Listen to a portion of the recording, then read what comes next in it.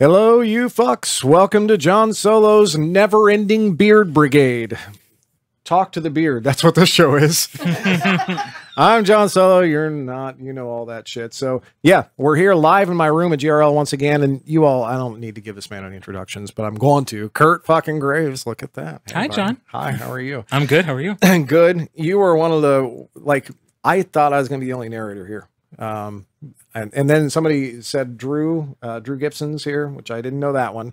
I'm like, cool, too. And then Kirt, and I was like, well, fuck nay. Yeah. So we've come a long way.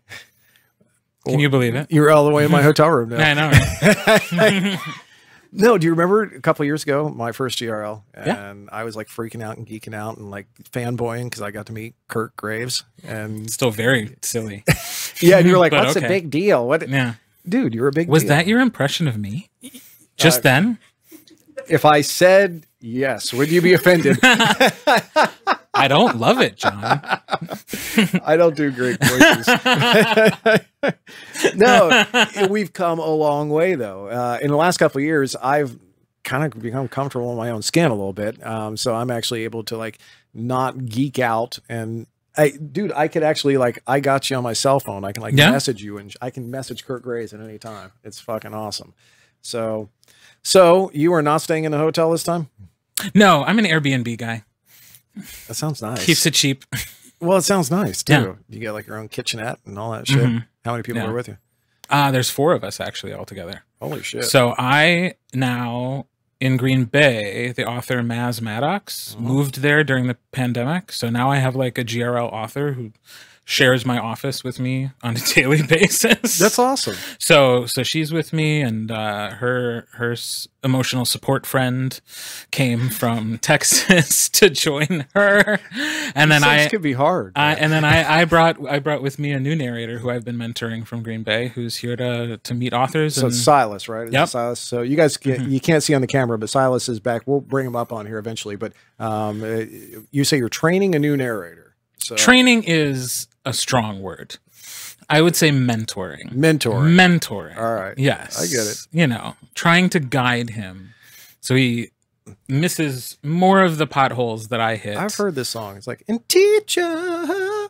there are things. Yeah. Right? That Yeah. song? Okay. I so, you know, but training that I don't know that we it's weird because how many this used to happen to me all the time and now it's just because of the pandemic so i don't go out as much but uh you're an audiobook narrator people Uh-huh. always used to say i had a great voice i'd love to do that how do you get into it Right. that question right Yes. um i've only ever had that work out well actually a few times. Yeah, I mean- ran falcon sound so i we had a few guys come through but It is an element of the work. yeah So, being pleasant sounding is a, is It helps. It It's- helps. but it's it's not all the work. no not by any means Silas happens to have a great, sort of like deep, manly voice. That was my impression of you. um,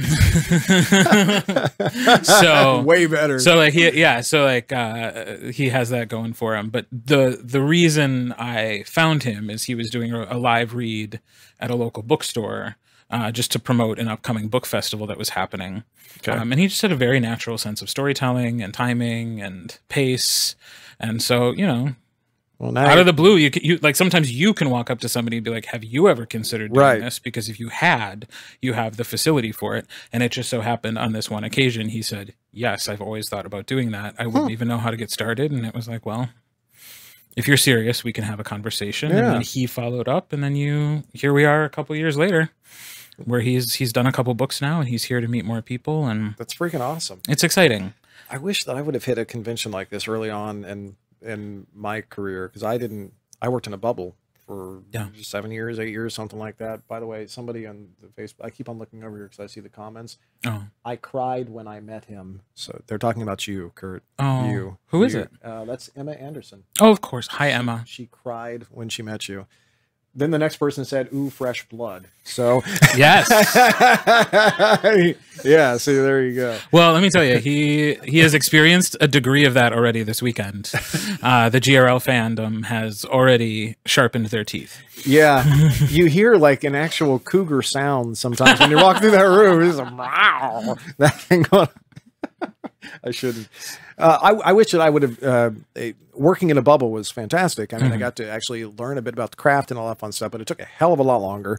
I wish I would have come and met you and Greg and a few of these other guys like early on and been exposed, not that way, but been exposed to the the readers and the listeners and other authors, and that I hadn't. I've told you my story. I didn't really know anybody was even. I didn't know a lot of people were doing this already, and I also didn't know that uh, narrators have fans. Right. Um, I didn't get that. Watching you walk through a GRL, even this one's a little smaller. It's fun watching somebody like you walk through because you don't see it, but I see it. Watching like heads turn, you know, um, and even like a lot of these people. This is a smaller GRL this year because of the fucking pandemic. But we like uh, most of these people have already met you. We, we're seeing a lot of familiar faces, but even those are like, "There's Kirt, there's Kirt," you know. And you think that's because I'm a narrator and not just because I'm incredibly good looking? Yes, I'm just trying to be. I mean, Well, this is going great. So speaking of of that, I hear last night you were a little saucy. I I heard you had a good time. Never. I No, we had a great time. I uh yeah I we uh I I, I went and, and I wanted you on last night. I was trying to get like a jump start on the talk to the beards, and you explained to me that you'd you'd I had already started drinking. Yeah, you Like, imbibed a I'm, little not, bit. I'm not going on the internet when I've already started drinking. See, if I would have learned that lesson early on in my life, Yeah. I would have solved so many problems. But isn't it good that the internet like wasn't what it is now? Yeah. When we were younger. Well, yeah, you had to you know dial up and you, you know the Mm-hmm. that sound. Jane still has that. That's one for for everybody at home. One of the one of the Jane Stoff's in the background, and she has the slowest internet I've ever seen in my life. Um, she allots it all to me. It's fantastic. Oh. It's a nice thing. Um, yeah, I heard you had a great time last night, which was We did. awesome. And you are better at that than me. I have a hard time at these conventions.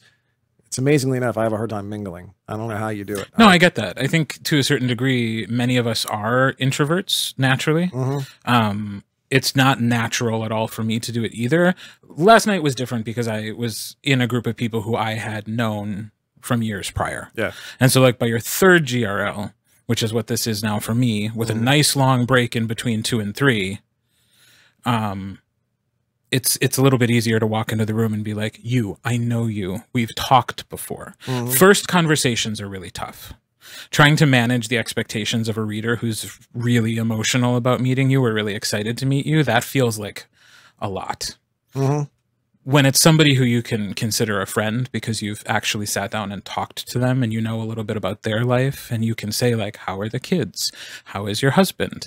Like how is the trip here from where you live? I know where you live. You know like yeah. that's a little easier. And so that's the situation that was last night. Um, i'm sure there are several people you could talk to here who will be like that kirt graves was uncomfortable when i met him because I was because it's hard to meet somebody new and and try to meet those expectations of who you are in a book versus who you are Well, yeah. in real life. I like being able to lock in on like right now. I'm, Mhm. I'm looking you in the eyes. I can talk to you. I can lock in. But I feel lovely. like thank you very much. I I uh I, I, I work out. I, no, I. I, I, in a room full of, let's say 50 people, 75 people, 100 people, when I'm talking to somebody and then I hear my name in the background or somebody else walks up and then I feel like I can't devote my attention fully to that one conversation before I have to move on. Then I feel like a prick. And then I wonder afterwards, you know, hey, what did I, not very good at that. I'm not very good at managing it yet. Um, the other thing is, and I'm going to go back to this because I don't know if you experienced this or not. I didn't know the people who knew I was at Mhm. all. Right. I just didn't fucking know. Did that happen to you? Did you walk into your first GRL, your first con, and, and just have no idea? Then people started walking up to you and calling you like they know who you are already. Yeah, I mean there was uh certainly a fair number of people who who knew who I was. I think TJ Clune, reading motherfucker. Right. People knew who you were. well and and so my first GRL was the last one that TJ went to. Mm-hmm. So it I, I actually didn't have many people approaching me until I was standing next to him. so it was de- there was definitely the TJ effect. Yeah. Like there was this gravity. Yeah. that people were drawn to him and then they're like oh oh you like you make sense now next to him but before that nobody was in fact i that was back when like narrators had their own tables and i had done a whole session before tj had even showed up and like nobody came to my table my name was on the front of the fucking table and like no nobody's coming up and saying hi but then like the second i'm standing next to tj it's like you're kirt graves and i was like yeah that's what this This thing around my neck has said that for 24 hours. Yes. that's that's the way it works sometimes. And and I do think sometimes there's uh, that tunnel vision. Like if there's the person you want to meet, Mhm. you see them first, and then it was like, oh, oh, oh. So that that was my first experience. Is like I really got ignored, or and this is probably a more generous interpretation. People were just as nervous as I was, and they didn't want to bother me. I'm told that that happens a lot, and I guess I understand it. Like with you and with Greg at the last convention, I was incredibly nervous to meet you two, so I get it entirely. In fact, I, um, you were a bit easier to uh, access because when I first saw you, we were all going to be in a room together doing our narrator thing. Right. But Greg, I saw walk in, and it was really hard for me to approach him because he was talking to other people. And I finally said, fuck it. And it was like the biggest moment of overcoming fear just to walk up and, and it's not that big of a deal. And I didn't know it then, but I, I do now. Um, we were talking earlier about some of the uh, uh, live streaming.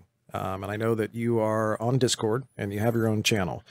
From time Um, to time, Well, so you do something different, and this might be an awkward conversation. You can shut me down, and it won't be weird at all with this crowd of people in the room and cameras. But that's fine. um, uh, you, I read sex scenes live, Mhm. right? It's um, and I've I've discussed this in great detail in my group, so they're well aware that it just doesn't. How would you put it? I don't get randy when I'm reading these sex scenes. It Right. just doesn't do it for me. Um, and it just doesn't. I have a couple times, um, but even then, I'm just so accustomed to working in front of a crowd. That's what I do. I've seen you and several other narrators. I'm in a sex scene. I'm cutting. Um, is that? And again, this is where you can tap out. Now you Mhm. don't have to answer this. okay. Is it because you're getting horny, or is it because you are, or is it because you're just uncomfortable in general? To, you know, with that kind of. I don't know. I don't. know. Why do you do it? I just want to sit in this moment for a second. Where you just looked me in the eye and asked if it's because I get horny. so this is different from two years ago, John. Uh, yeah, no, no, no. You wouldn't have asked me that. This is good. This is growth. This is progress. I'm trying. Um, By the way, this is what you get learning from the master. Right? I'm just telling you, Silas, so you know. um, so I have actually narrated sex scenes on Discord. I just didn't know they were like it sort of like slipped my mind that like, all right, moving into chapter 14, and then five minutes in, it's like, oh, that's right. Well, here we go. Right. Um, when I have the choice to, I have been like, I'm gonna go off off cam for this, like, um, just because it's more comfortable Mm. Now I want to clarify. Do you go off cam or and just turn off the camera? and off, keep- off, Okay, so off you're, live. you're tapping. Yeah. I'll, I'll go off live. Um, just because it is, uh, the, there's, it is not because I'm horny. Okay, all right. I don't know. Let me answer the question directly. Thank you very much. Um, as wonderful as the writing is, He was horny. as wonderful as the writing is, and as great as the characters are, and like all of that, it is work. I am working, Right. and there's really no way to turn that off. And there's, I still believe that if you're at work, you need to Well, there's a lot. keep it in your on. pants. I mean, So I cameras don't. that's not why I'm turning the camera off. right. no, I'm turning it off because there's a I don't know, it's I mean those stories if they're if they're especially if they're well written, the sex scenes aren't just sexy, they're also very intimate. Uh-huh. And when that intimacy is taking place, there's a part of me that just feels that that should be private. And so it doesn't feel right to broadcast it, By the way, which is ridiculous because it's you- all fake. you just melted like every freaking person's heart, including mine. Oh, good. Uh, by the way, that's it's just I don't want to touch it now. Thought we were having a moment. Yeah. It's okay. Mm. no, that's that's amazing. That's the greatest fucking. God damn you! I keep on learning. That's a great answer. Uh, I wish I would have thought of it. No, it, you can steal it. the the You don't have to. you are you are dead on accurate the intimacy part of it Mhm. and i've read i've read a lot of books at this point in my Mhm. career and some of them are, are so well written that i can't believe that i'm getting paid to do this shit Right. others i mean they're not um, and working my way through those sex scenes is an entirely different deal It is, and like, and and that I think the ones that have snuck up on me have been more like that, the where they're just like wham bam, thank you, ma'am. Yeah. and that yeah, that doesn't feel as private. yeah uh, but it's just the the the reaction of the characters and you're finding it easier to act through those moments Yeah, yeah. when I'm by myself. good character Yeah. choice and great answer Thank i'm kind of jealous Um, going back to you are in Wisconsin, and Mm-hmm. Is now in Wisconsin, and now you're sharing. Is this the same office? Uh, you were on Talk to the Beard a year or two back, and, and I saw that. no, space. sadly, I loved that space. It was a really cool. beautiful old building right in downtown Green Bay, and it was so fucking loud. Yeah. And there was just too much traffic. There was a bridge right outside that would go up and down with boats coming up and down the Fox River, and it That's was just like loud. I bet. it was like, oh, we can't, we couldn't, we couldn't stay. It, Yeah. There was just too much going on downtown, and um, so I, I looked for a different space, and now I'm in a much quieter space, and so it it's Okay. it's worked out well. I have this beautiful three office suite that's tucked away on the backside of a building, far away from the road, Mhm. on the ground floor. Like the only thing that ever disturbs me is the garbage trucks that go in the back alley And literally happens once a everything else Yeah. does not penetrate those concrete walls and then i have my booth on top of that so Perfect. it's perfect the only thing that messes me up is uh, if something inside the building Mhm. like one day i walked in and the the fire alarm was just blaring You can't work through and that. i no i really tantor wouldn't have liked that Yeah. So Like- are are you with Maz? Are, like is Maz writing something, and then you're just like, oh, is, is she like you can't do this now, or I mean, how's that relationship work? I mean, because you're working She- on some Maz stuff, right? she just kind of comes and works there because she still has a day job Okay. and is working remotely so Okay. it's just a place for her to get out of the house which i understand Yeah. because yeah. that's part of why I have an office outside my home too. It was also a noise issue at my house, Mhm. um, but I've- I've just debated I just didn't love working from home. I had so I had to get out, I get it. I've debated and it she seriously. she has to get out. so and I was like, well, I happen to have right, a space. space. So I've debated that seriously. I love my wife to death, but Mhm. there are, are times when my now I have a detached building, but I'll take a break. And, Yeah. you know, you got to go. I'm going to get a cup of coffee. I'm going to, and then we're into a conversation, and the next thing you know, I'm like, well, I guess I'm done working for Mhm. the day, or I'm just not in the right headspace Right. when I go back to the booth, and there is that advantage. I'm jealous of. I I'm jealous of yours because I think my next step will be what you're doing, which is to be at home but separate. The detached, which I do nice. think is the is the most correct answer. I mean, there's always going to be distractions. There's always going to be things that Mhm. that knock you out of the narrating space. But I think that would be great to still be able to have no commute, but it's totally separate. It you're not walking past your bedroom or the laundry hamper just to go to the bathroom I couldn't. where it's like, oh, okay, well, I could just quick make the bed, or I could quick, I could, I can throw some laundry in, or like, oh, I'll just wash the dishes real quick. It's like you gotta be separate. And on the on the other side, like a lot of times when I was at home and I wasn't working, I felt bad about the fact that I wasn't working, yeah, and so that work life balance was not not healthy for me. I didn't figure it out. I like I said, ideally, my next move is an office that's in a house, but it's separate. Uh, I have to leave. I have to leave if I'm gonna. That's one of the reasons I got into the jeeping thing. Mhm. Um, was because I cannot not work when I'm at home. That's all I think Right. about. It's all I do. I love it to death. So unless I'm going to a meeting or I'm going jeeping somewhere, I'm, I'm pretty much working. I'm doing Mm-hmm. Right. something. I have a hard time with that. You mentioned you got to though, because like Well, you will you will work yourself into a bad place. how long? You, how long you been narrating now? Eight years, nine years, ten years? No. I thought you had. 2016, my first book We've- came we've out had this October, conversation so before, it'll but- be it, it's like next week will be five years since my first book came out. Yeah. See, and this shows what a slow learner I am, right? Because I'm at my first book was 2012 or 2013, and I'm learning shit off of you, a lot of Well, shit. I'm learning shit off other people all the time too. it's it's amazing. Um, oh, speaking of which, before I forget, I got to tell you, you did a fantastic bang up job on that Jeff Adams thing. Um, Thank you. yeah, yeah, yeah. Oh, thank I- you. I That only means a lot the- coming from you. Well, I only listened to the sample, Mm. um, but a couple of my friends. Uh, you didn't buy the whole audiobook to listen to the me redo your work. I had to hear the sex scenes, and he wouldn't do them on Discord. so Yeah.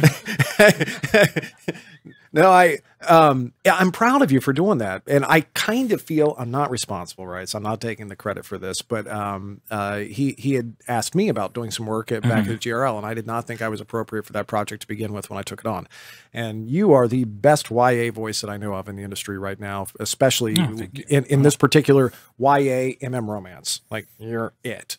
you're the one. In fact, I hope there are casting agents out there listening somewhere. yeah, because they all listen to John fucking Yes, Solo. yeah. That's I know it, it's eerily like I feel like I should like is this legal to be listening to Kirt do this like uh, because it's you kind of sound a little like jailbait to me sometimes when you do this kind of thing. You're really good at it. I Oh, like it a lot. That's the sweetest thing you've ever said to me, Thank you. John. I looked you in the eyes when I did yeah, it too. it was really good. Um, you, you, from the sample that I heard, you were so much better than me at that role, and I'm so grateful that Jeff got because it's a cool series. It's a great Yeah. concept. Um, what is it? Codename Winger. Codename Winger. Yeah, yeah. Well, I'm I'm grateful that you gave your blessing because we wouldn't have moved forward if you had felt strongly that like Absolutely. I, I'm not okay with erasing that well, because it's a tough position to be in. Like, Yeah.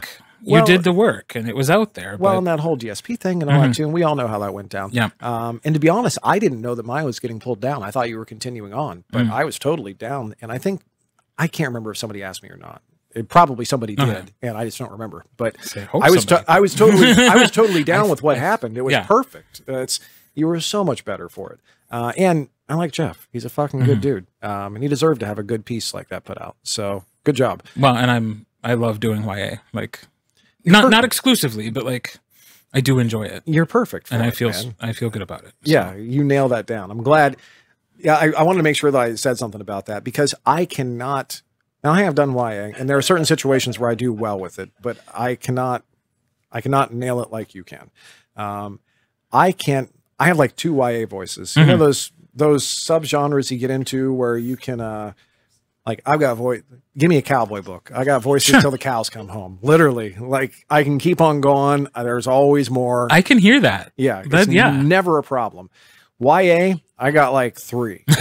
you know, You know what's funny though, and I, I think we as narrators work ourselves into these corners that don't really exist. Um, because like, do you ever do you know Johnny Heller? Yeah. He does tons of middle grade and YA, and he sounds like a sounds like sixty-year-old smoker. Yeah, like an old. You know, like his voice is as is as raspy as men's voices can get. Yeah, Um, and yet somehow it works because it's in the spirit of his performance, and it is really has nothing to do with his his vocal facility. And I do the exact same thing, where like I'll I'll be doing a a, a, a, a male romance book that calls for like a really like masculine dude, and I'll think like, oh, I really got to change my voice for this, and it's like. It took me a long time to realize, like, no, you don't. Like, your voice registers as male, and mm-hmm. that's the point. and and when authors lean into words like deep or gruff or low, mm-hmm. that they don't mean literally down here for the whole book. Like we don't have to we don't have to Christian Bale Batman a 10 hour audiobook. I've done that voice too.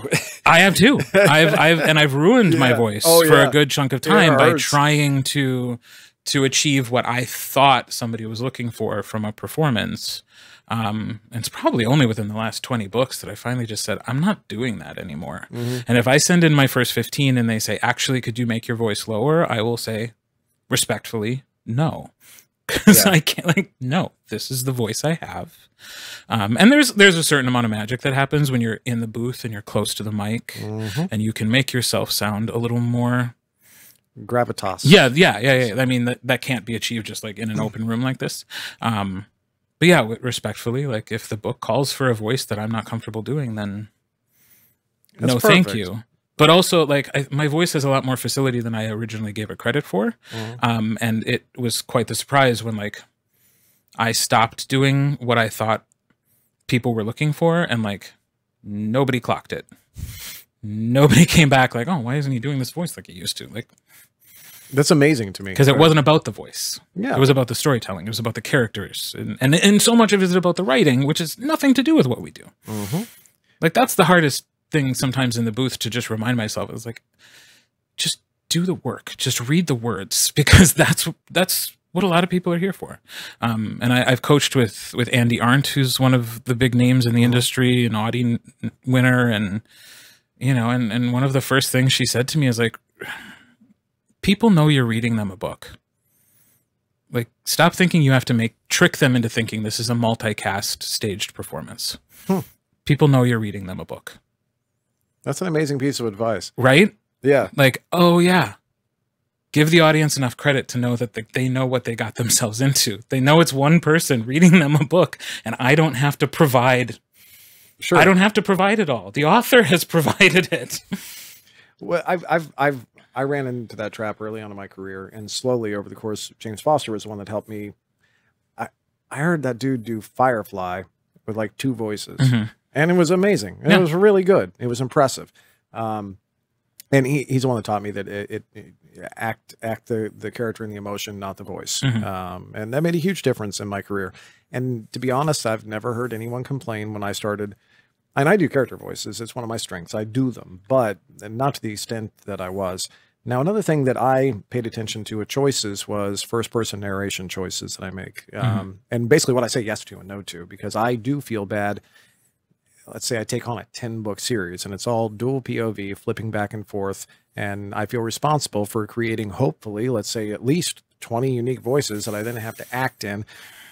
When I've been in those scenarios, first off, I say no to a lot more than I used to. I'm lucky enough to be able to do that. But the second thing is when I do say yes to a scenario where that's going to happen, I'm I'm just a lot closer on the voices than I used Yeah. to be. I'm not trying to kill myself to make them as unique, acting the character in the scene. Um, although, dude, the way Andi put it to you is fucking brilliant. because you're right. Yeah. I mean, I had a really funny thing. Was it Andi Arndt that was? I think it was on Discord. Uh, it was when I was first on Discord. Um, so I, I get on and I'm on my. I'm so excited about Discord. I'm like, this is the coolest thing, man. There's actors in Yeah. all these rooms, and it was like right at the beginning hop of this, right at COVID, and I was so excited. So, anyways, I'm on break. I got my phone and I'm on Discord now, and it's Andi fucking Arndt in a Discord room in the Nook, and I was like, oh my god, that's Mhm. cool as shit. Yeah. And I jump in, and my microphone's on on my phone, and I oh no. can't figure out how to turn it off on my phone for the life of me. And I'm the only other person in that room.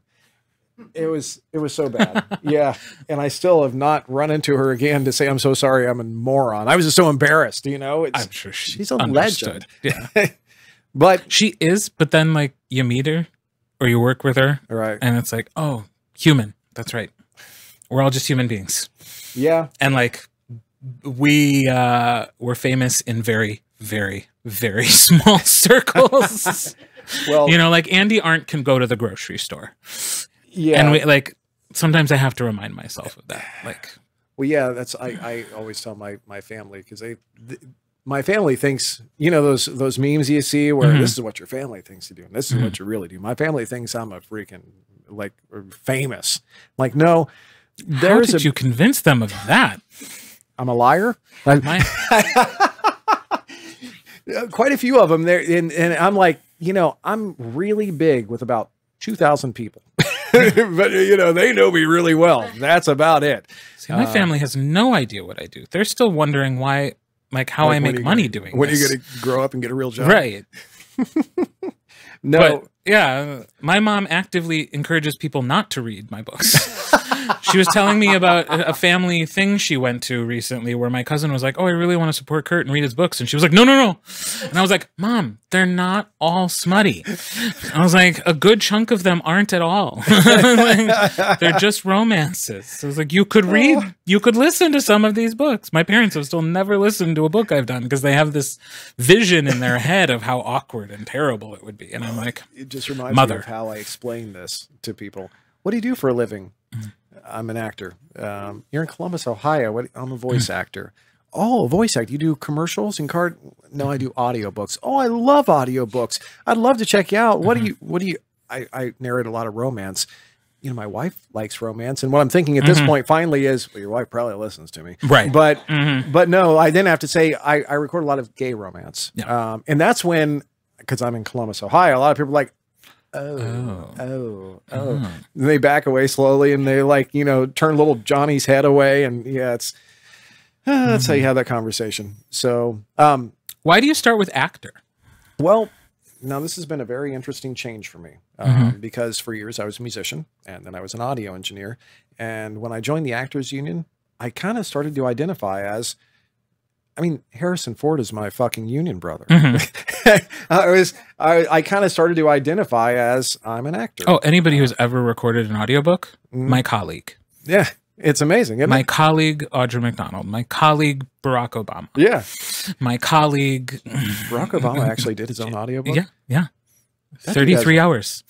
Did he do that before or after his presidency? This, wanna- well, this one was after. okay, I was just his- making sure. yeah. that does not seem like a wise choice. I, I think thirty-three is an exaggeration. I think it was actually like a twenty-hour 20, maybe 24, 26 hours What's the longest one you've done so far? that I've done. Mm-hmm. About 20. It's been about the longest. How long was Whisper? That was about- that was the longest freaking month.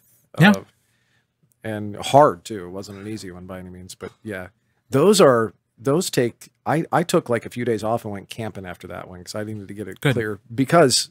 It, whether the project was hard or not, it was just that long of a stretch mm-hmm. of trying to make it work was very difficult for me. Yeah. Most of them we do are like five or six hours. Well, only recently have I gotten into like standard length ones. It seemed for the longest time that like if it wasn't 10 hours, nobody wanted me to do it. Really? Yeah. So yeah, once some of these more like category romances started coming in and they were like six, seven hours, I was like, oh, this is different. Like it totally changed my schedule. Well, I'd finish on a like Thursday morning and I'm like, well, what do I do now? the dual narrations. I keep on sliding in a bunch of those. I'm Right. not sure how I feel about them, but I, I do a lot of them, and I'm still I'm still kind of on the fence. Um, I would still rather not Yeah, do them, favorite but that's not an option if you're going to do the work. Yeah. Um, the problem is, I mean, I usually still give myself the full amount of time, um, because I'd rather be able to slide something in on the calendar if I can. Mm-hmm. Um, but also, it takes as much time to prep. well, I have a really hard time with that because I work my prep differently, and I need to change my system for dual narrations because I hire a prepper, and I have the story laid out. I have a good summary. I have each chapter note laid down, so I know what's going to happen. Um, but the problem is, I I feel completely discombobulated from the story. I don't feel connected a lot of times, so it takes me a lot longer Yeah. than it normally would. I, I struggle with that aspect of it. I should probably do my own preps on those. Um, I Everybody's process is different. yeah, I'm still Just do what works. I'm not, I'm not quite happy with him. I, that's it's the it's the disconnectedness of the story itself to. Mm-hmm. You know, I don't feel like I I lived through that previous chapter, so it's really hard for me to hit this one. Um, I still haven't quite made my. I only started doing those year, year and a half ago or Mm-hmm. something. I'm still not. I have not found my groove yet. Can you? I don't know. I haven't found my groove either, I don't and and and everyone's different. Even the ones where I've narrated with the same person more than once, it's like the diff- the experiences can be totally different Yeah. depending on when they schedule, who starts. Like sometimes it's really smooth, and but that usually means one person. I hate to say it, but like the best experiences are when one person does most of the work. Yeah. Because if one person records first and does a really thorough job of saying, here are the voices that I used, Mm-hmm. and then the other person can just do their best to match that, Yep. that's probably the best result you're going to get. Yep. Trying to do it at the same time is very difficult. Trying to constantly send back back and forth, like, oh, I haven't gotten to that chapter yet, but okay, like, well, here's a voice. I need to know how you're going to do it because you do it ten times as much as I do, but I'm already ready to go. I've, It's I've like, okay, well, let's this. just keep it and like, and sometimes, like, oh, I'm in Timbuktu, so like, oh no, just keep the voices generic. It, I don't know that this has happened, but it feels like sometimes that's what you get from the other person. Like, oh, I'm just going to use my standard romance voice. Like that wasn't helpful. I cannot. I haven't listened to your books, sir. I don't know why you think I know what your standard romance voice I can't is. thank you enough for having this conversation. Like, there's so few of us, you Yeah. know, that actually understand that, that some of the little nuances of what happens in our career. Mm-hmm. Um, speaking of which, so you, you you you brought some fresh new blood, and I want to Yeah. make sure that we actually put him uh, like in the chair and on the microphone real quick, just so Okay. people can see In your what- chair or my chair? Well, your chair. Oh. Well, wait, wait, no, actually, no, no, wait, wait, wait, wait, no, that's a better idea. That's a better idea. No, no, no, Kirt, no, no, no, I no, mean, no, you no. can interview him if you want. That'd no, no, no, no, no. You, Fantastic. you're gonna meet him. I just I had to be snarky. snark, uh, snarky. Here I go. Here I All go. There you go. Now I'm doing Kirt's voice. Here we go. Take it. Have a seat. Jesus Christ, you do have a deep voice. All right, we gotta work with this, right? Hi. Hi, man. Welcome. So your first GRL. It's been insane. Uh, obviously, like I, Yeah. I, I love it. I've had so much fun. We're only two days in, and I'm excited for the rest of the like three days. So It gets crazy. yeah, and yeah, with that voice, they're gonna eat you up, son. This is gonna be fantastic. you hear all that. It's been a little crazy. Yeah, I, I bet. Yeah. So uh, here's the thing: one, don't go in rooms with anybody by yourself. All right, we know all this stuff, right? All those rules. Um, what what book did you narrate already? Um, Oh goodness. Um, I've done about five so far. Um, my most recent one has been a YA novel, um, How to Be Remy Cameron, um, by the amazing Julian Winters. Um, and he's like a pretty up and coming author uh, and such a nice person as well. Mhm. And then I'm actually doing a um, co-narration. Speaking of that, uh, earlier with Kirt as well, and that is the um, what's the one? Weaver's uh, Weaver's Circle. Okay. I'm very bad at names. Word, words are hard, dude. I know, and I'm trying to do it for a living, so. exactly. Yeah. Trust me, you don't need to be that good at it. Um, so five books in. Uh, it, all right, I'm assuming at this point you got a day job. You're doing something else for a living. Yes. Excellent. Yeah. Um, is there any plans of doing this full time? Any plans of? I want to. Um, it's been very fast. I mean, I am only a year into this, and it's been quite a process. Um, Mhm. but it's been so helpful having Kirt um, kind of help me avoid a lot of the mistakes that I definitely knew that I would have made. Like he has helped me so much just with every little process I could think of. Mhm. Well, there's a lot to it. There's Yeah. There's not only the acting that's kind of important, I think, Mhm. um, but there's also the equipment, and then there's the technical skills of running not only equipment but the software. Um, then there's the uh, obtaining work, uh, Mhm. which is one of the trickiest parts in the beginning for sure. Um, Yeah, he's definitely helped me with that. yeah. And then there's actually learning how to execute the work using all the technical knowledge you just learned from getting all the gear that was way too expensive and then learning how to run the gear and the software, which is tricky to say the least. Um, yeah. And then when you finally get all that technical as- a- aspect stuff down, then you sit down and then you still got to remember to actually act. And Yeah. Mhm. yeah. And then finally, now you've got it all down. You're acting and you're in front of the mic. And now you have to deliver in a certain time frame and then make it profitable. So yeah. It is a lot. And you know, I've been told it's like, oh, you have a fantastic voice. You should be in radio. You should do this. And it's like, well, yeah, but how? Yeah. Like like I've always wanted to, but yeah, I mean, like you said, there's it's not just the voice. I mean, there's so much more to it. I mean, let me tell you a little secret that I learned, and I've not been at this that long, and I'm honestly not that good at it, and I'm not being humble here. I'm just not. If I keep on, if I keep on practicing, I might be. But let me tell you a little secret. For somebody like me, and for like him, and maybe like you, I don't know. Um, there's no better fucking career in the world. This is the best fun I've ever had in my life. oh, I've had a Um, blast. Yeah, it's a Yeah. ton of fun. Um, but the stick to itness that it takes to get from point A to point Z, where you're where you're doing it and you're actually doing the deal and you're making a full time living, is not easy. Uh, it sucks. Uh, it really does. So good luck with it. The good news is you're young. You got a fantastic voice, which really doesn't amount to a hill of beans at the end of the day, but it's going to help you. It helps. I wish I had that fucking thing going on. Mine was a lot harder to make work. Um, so you got all that. Plus, you got a great teacher. I think you're Yeah. all right. And that's been the Yeah. biggest part of that for sure. So what's the what's the full narrating name that you're working under? What's the Uh, studio name? Silas Whitaker. Cool. Mhm. What's your address? No, I'm just don't don't fucking do. Where's the wire? well, Silas, um, we already talked to Kirt for a half hour, so we're done with him. We're gonna go out with you. Um, and what I do is, and this is complicated now, right? Okay. So what I do is, I, I tell you to wave to the camera, and then I hit this button, and we say bye. So you wave to the camera. Have fun, y'all.